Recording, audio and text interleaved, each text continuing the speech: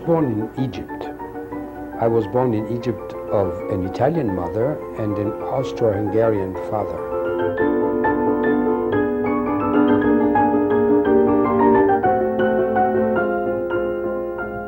There was this lady in Cairo of Italian culture called Teresa de Rogatis, and I was her pupil. She started me at the age, I think, of seven, and was quite a relentless teacher. In fact, I would say even ruthless. She taught me discipline. She taught me to continue to be obstinate, try and conquer the difficulties. She taught me many things.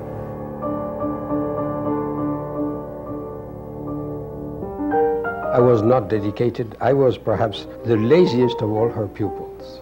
I really was unwilling to study octaves. And uh, so she uh, said, okay, I'm going to write for you an octave etude. Will you play it? And I got immediately interested. Somebody writing for me, you know, composing something for me. I said, yes. And she said, if you play this octave etude, I promise you one thing, you will never have to practice octaves for the rest of your life. And believe me, she kept her promise because it's not such an easy octave etude to play.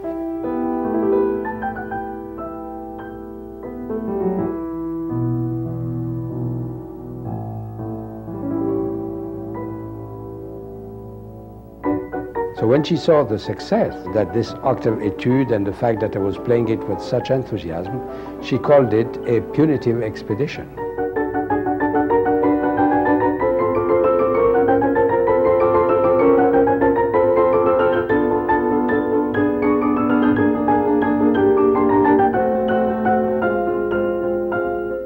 She was quite a great teacher and a great person.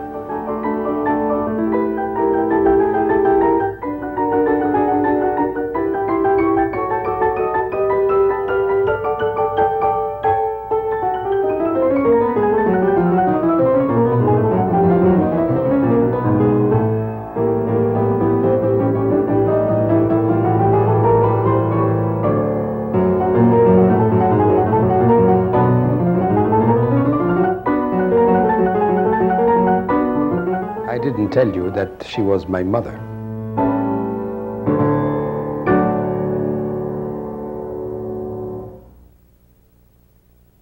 The premiere of The Barber of Seville of Rossini was a disaster. You know why? How it began? No. Uh, at the most dramatic moment or whatever that the singer had to sing, florid singing, a cat just crossed the stage. Oh, no. quietly from the beginning to the end to the amazement of the singers and the public just went mad. and that was the beginning. There are many advantages to living in Los Angeles. First of all, the climate is very beautiful. It reminds me that of Egypt. And second, as a composer, the cinema industry here opens the door to composing film scores and really uh, gaining a great deal of experience in that domain.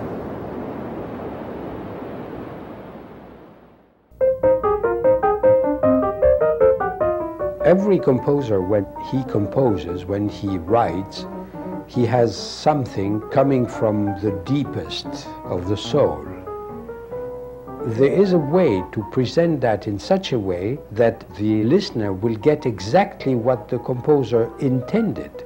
The job of the performer is to find that and not just look at the notes and just play the notes.